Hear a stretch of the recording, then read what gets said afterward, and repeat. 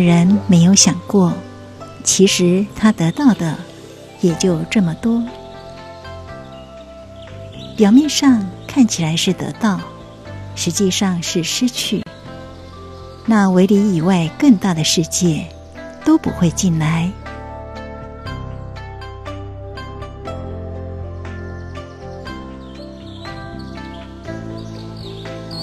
让的精神体现在建筑与会中。不仅让出骑楼，还让出进去的部分。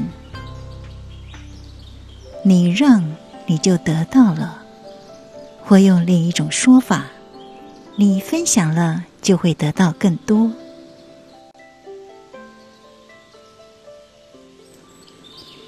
别人笑我们是傻瓜，但是让的结果，我们就得到风，得到鸟来筑巢。得到花香，得到落叶的美，得到四季不同的景观，得到丰盛的生命，得到对无常的体认。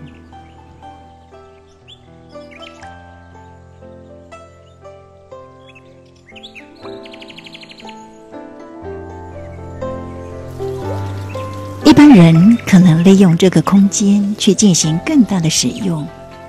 我们也在使用，只是我们是一种精神性的使用，就像是一个邀请。路人从这里经过，他会逗留，停下，因为我们允许，让出了空间。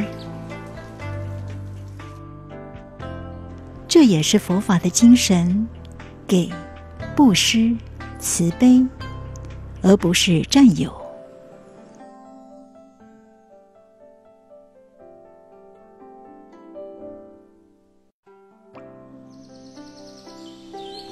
有一天，你走到一个地方，在城市喧嚣中，偶然遇见一处绿荫。老梅树下一颗平坦的大石头，向你提出了温柔的邀请。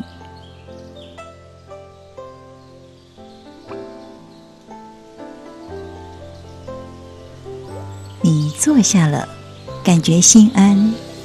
就好像我们是生命的旅行者，然后你累了，想要歇一下。你看着路上来来往往的行人、车辆，那些我们熟悉的景象。人生旅途中不曾稍歇的匆忙和追赶，可是你隐隐知道，人生应该不是只有这样。有更多可能是我们一直忽略的，那正是内心不安的原因。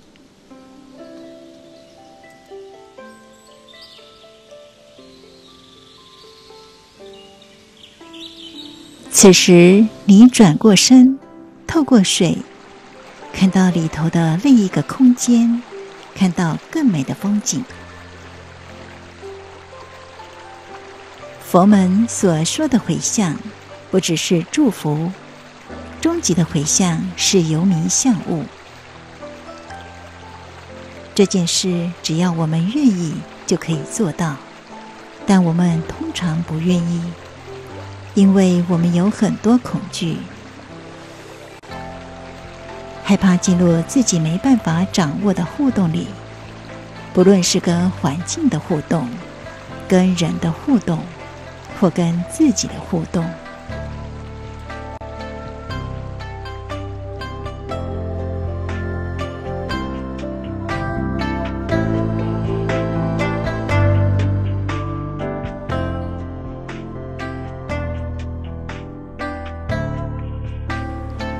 于是，我们一直执着于我们认定的，很多的苦由此而生。其实，只要愿意稍微放下一点点，给自己一个机会去探索，松绑一下我们紧抓着不放的东西，你一回头就会看到生命中新的可能。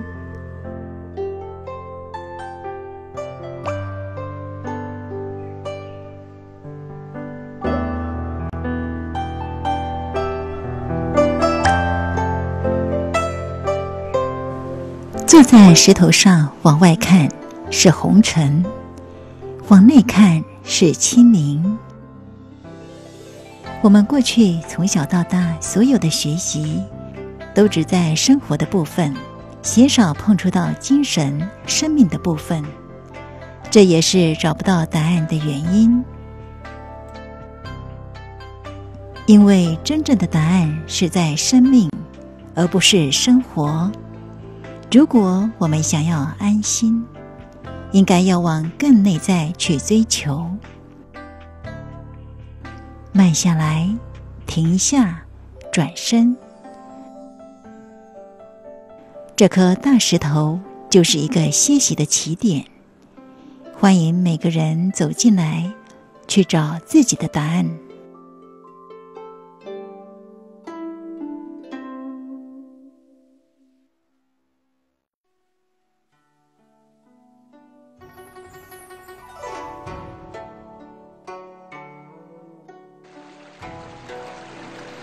坐在石头上，转身向后看的时候，会看到一面水墙。水墙上开了一个洞，洞里坐着一尊小佛。当你一回头看到佛像，内心是否涌现喜悦，得到清净的能量？佛像在告诉我们，那就是你自己内在小佛，它无时无刻都在陪伴我们。但我们忘了，一直向外追求。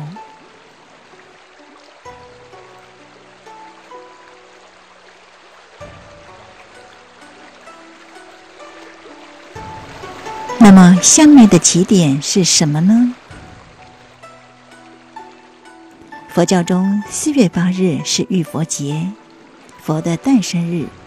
浴佛就是洗你的心，佛就是心。浴佛是要提醒你，每天都要内省，去跟自己内在那尊佛对话，去看见自己内在的宝藏。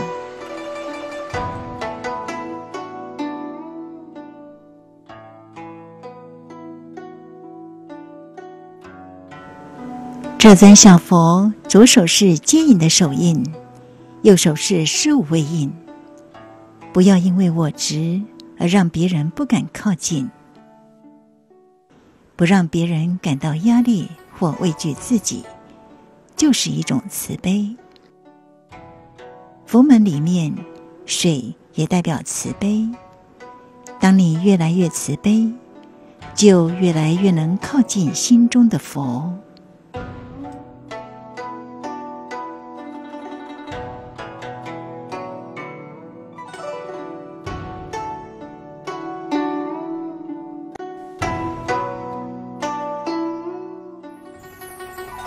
对于生命的探索，我们一直在生活的这一端，可是内在其实是有一些不安的，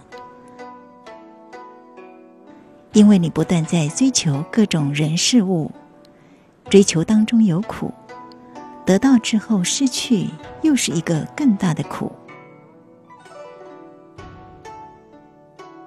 所以我们一直都在找答。到底在哪里？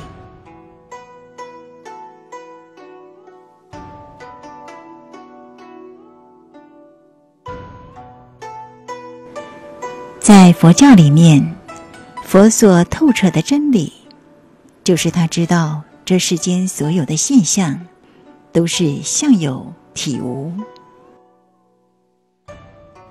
表象是有的，却没有实体性。因为会变化，意思是世间一切的存在，虽然你觉知得到，但是不可能长期的拥有它，它是虚的。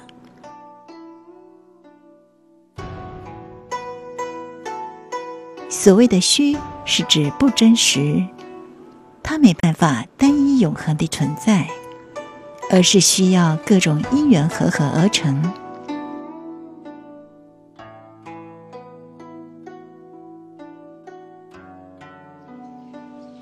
既然是各种因缘合合而成，只要其中一个条件被抽离，它就变化了。如果我们希望自己的生命得到自由跟解脱，必须知道这世间一切的存在、一切的现象，都不是真实的。要学习中观，升起不是真的升起，灭去也不是真的灭去。那我们在这当中能做什么呢？我们就在这当中好好珍惜因缘，好好的去运用它，然后你知道你会继续往前走，它也会继续往前走，一切都会改变。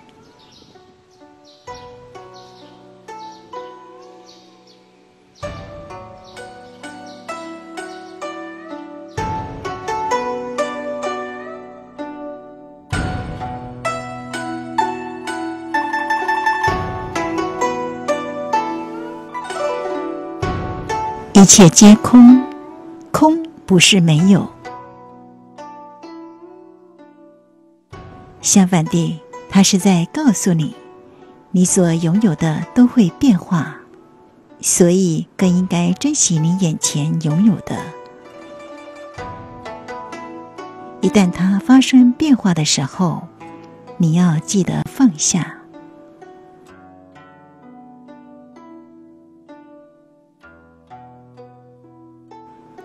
金刚经》里面讲，一切有为法，如梦幻泡影。你眼前所经历的一切，就像做梦一样。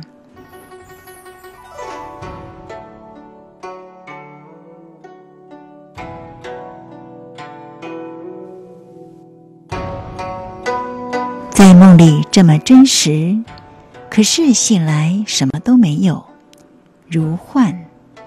就像街头魔术师，布一盖，一只鸟就出来了。但你知道那不是真的。我们一切的存在也是这样，这个因加上那个缘，就呈现那个果，都是变化出来的。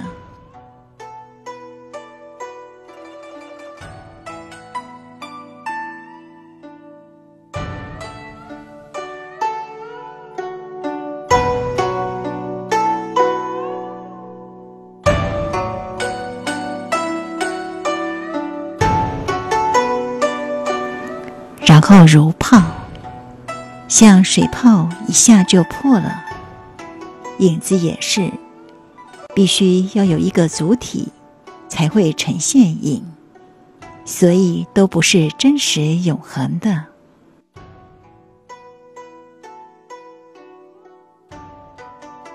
我们的一生其实就像一刹那那么短暂，但是我们身处其中。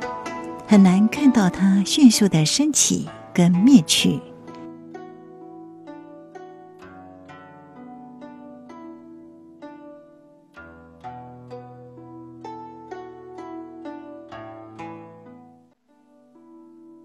活了几十年，觉得很长，可是你从整个宇宙观来看，就是这样而已。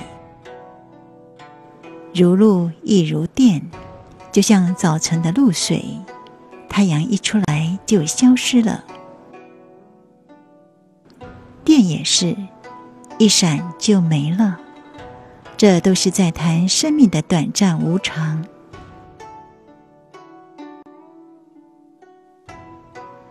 生命的实相就是如此。你只要知道这个实相，你是没有恐惧的。因为你知道，本来就是这样。佛门里说“如是如是”，意思是就是这样，就是这样。遇到任何事，告诉自己就是这样啊，你的心就先被安慰到了。一切都不是永恒的，如是如是。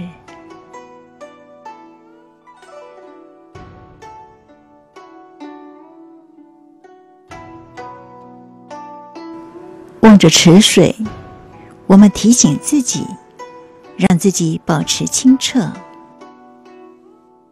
清澈的话，可以看得很远，心平静了，什么都可以映现出来。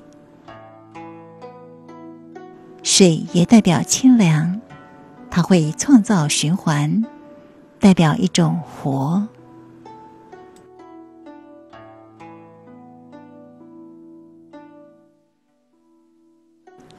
水和佛像告诉我们，不要落入任何一边，虚跟实才是完整的生命。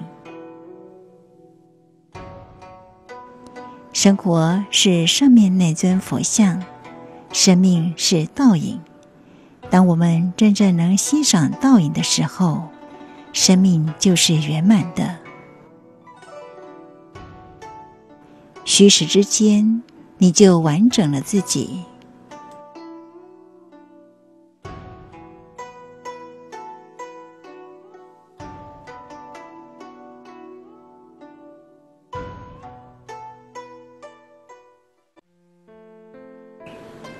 佛说，要真实地面对自己，真实就是自然，不刻意，不遮掩。你怎么面对一个失败？你先接受它，然后改善它，就会变成一根很有力量的柱子。空间是活的，随着时间变化，它会演绎出新的可能。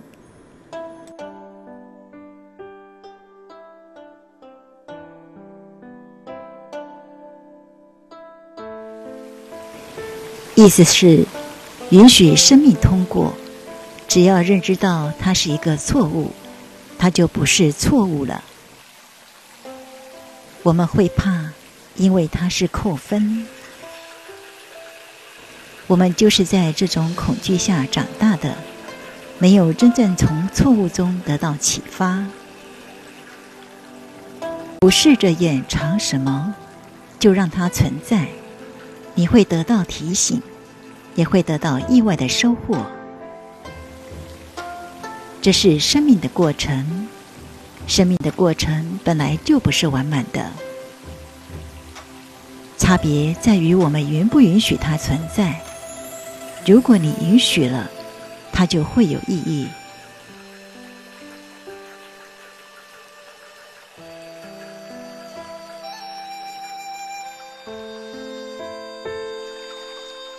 就像旅行，有时候走错路，反而看到另一片天地。甚至，正是因为有缺陷，才感觉完美。因为我们会从中得到学习、成长，它会丰富我们的探索，惊喜会从中诞生。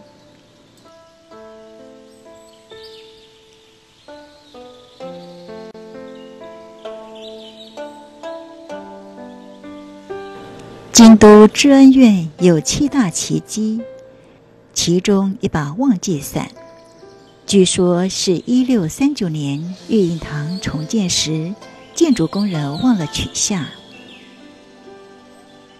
也有传说是刻意放在屋檐下的吉祥物，保护寺院免于火灾。不论真相如何。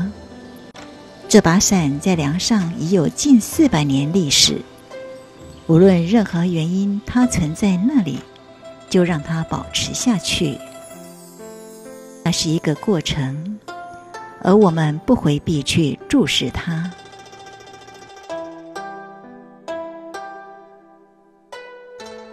这也在说我们如何看待失败。或许当初确实是失败。然而，经过一段时间之后，原来所认定的失败、没做好的部分，其实都要重新定义了，因为那只是当时的观点。当我们在面对生命中很多不圆满的时候，是不是也可以试着先通过，不要去计较，不要停留在懊悔里，允许经过，去长出新的生命。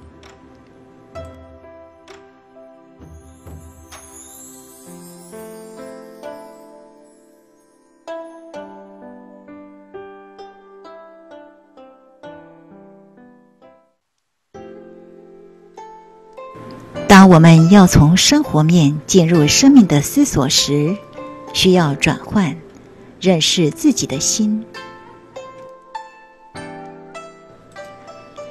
坐在梅树下时，虽然看到的是很清静的景，但还是听得到红尘中的喧闹，还是会被过去的烦恼干扰。然而，当你愿意为自己开启另一扇门，新的探索就开始了。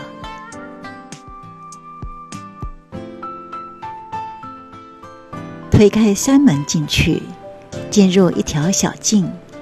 这条小径其实是一座桥，在建筑学中称为散步道，是转换空间的散步过道。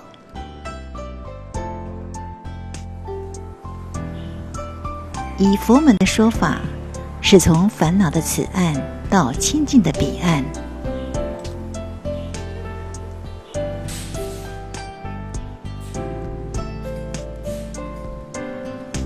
慢下来，心情得到转换，内在渴望亲近生命的愿望会带着你往前走。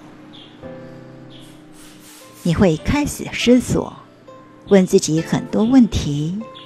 人生到底要往哪里去？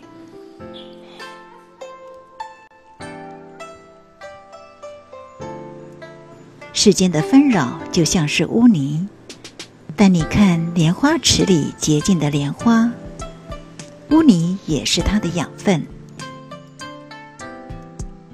我们如何将烦恼变成智慧？就好像怎么用这些污泥去滋养自己，开出一朵花。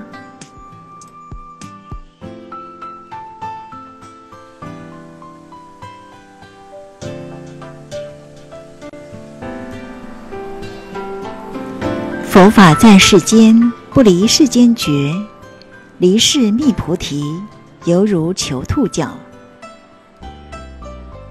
佛门说，每个人都是菩萨，菩萨为了丰富自己、分享自己，必须要有很多经历。你必须先了解世间种种欢喜和苦难，从这些历练中得到智慧。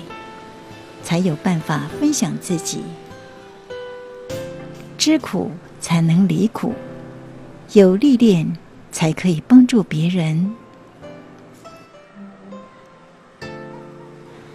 不在世间磨练而想得到觉悟，就像是想从兔子头上找到犄角。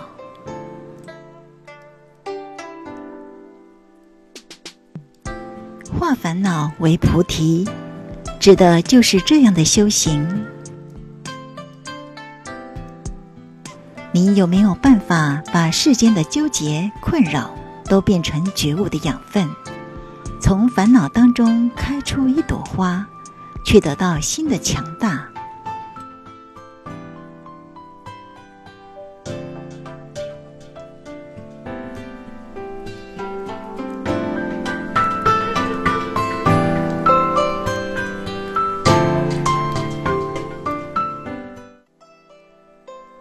照顾脚下是禅门参的话头，佛寺门前经常可见写着这四个字的木牌，意思是要看顾内心，而不是外求。我们的心并不是每一刻都是觉知的，除非意识到一失足即有失去生命的危险。否则，我们对脚下的世界通常并不留心。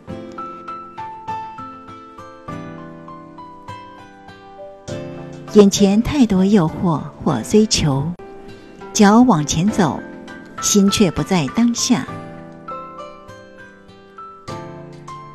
因而一不小心就踢到或踩到，甚至跌倒。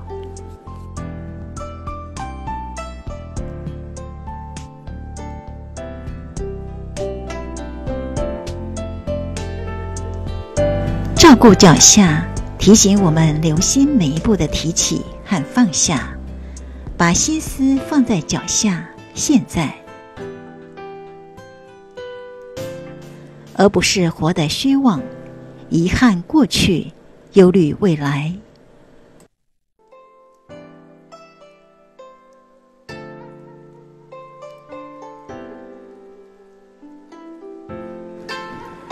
照顾脚下。也是照顾你的心。真正要回到生命的开端，就是你要完全的醒过来。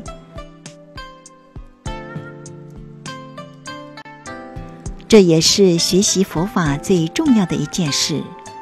问自己：你醒了吗？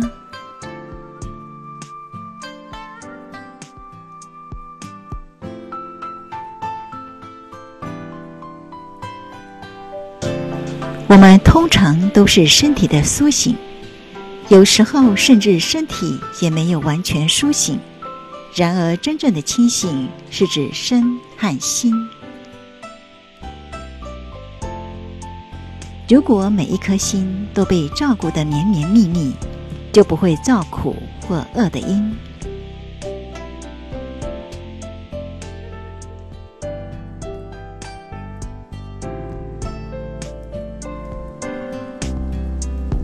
用心走路，每一步都是安稳的。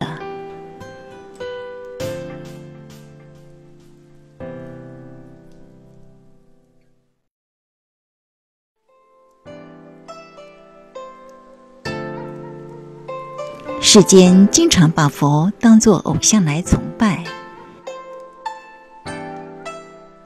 相信佛会告诉我们怎么做，佛说的话就是真理。然而，佛从来没有说你们要信我说的话。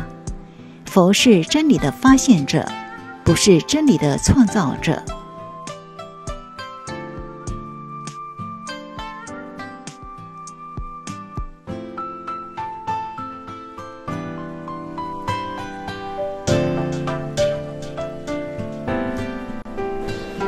佛所发现的真理，可以三个法印来做印证。第一个法印是诸行无常印，以及世间一切都是无常的。第二个法印是诸法无我印，法是一切的存在，我是指真实，意思是所有存在都是不真实的，因为它需要各种因缘合合而成。第三个法印是涅盘极境印。当你懂了前述两件事，知道这世间是无常的、无我的，就会得到涅盘极境，没有烦恼。所以，真正的三法印其实只有一法印，也就是诸法实相。那是世间一切存在的本来面目。